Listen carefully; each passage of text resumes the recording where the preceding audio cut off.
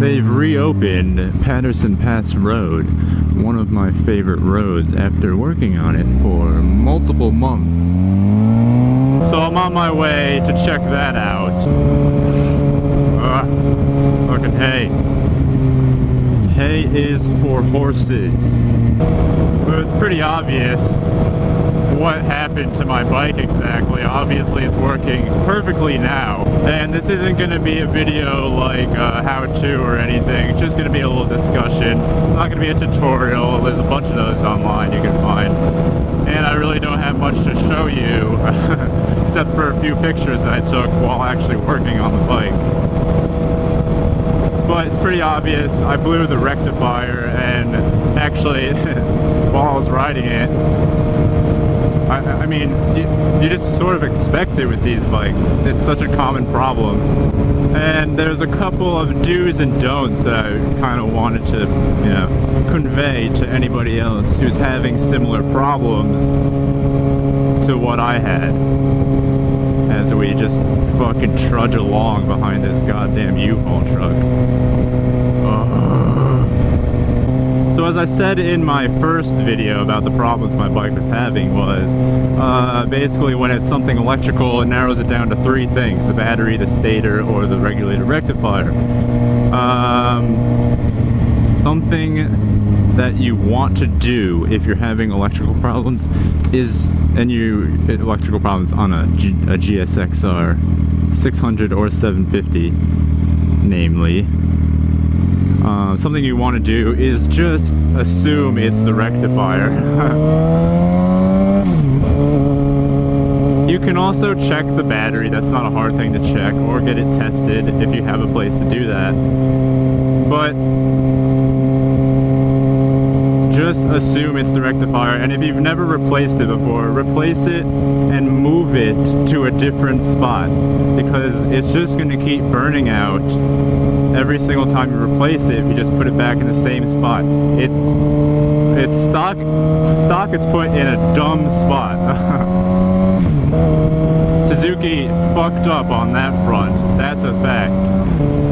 So that's exactly what I did. I moved it into the air box of the actual bike and it's really not a hard thing to do. There is a tutorial online uh, which doesn't have to be followed exactly to the T but uh, it's a good uh, guidance video to watch. You can just look that up.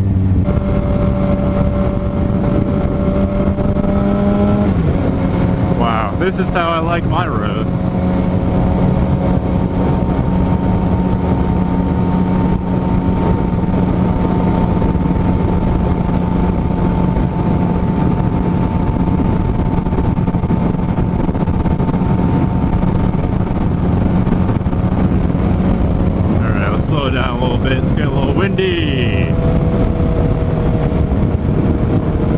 you don't want to do, uh, which is something that I did actually, is you don't want to just automatically assume it's the stator and pull the stator cover off to check the coils of the stator.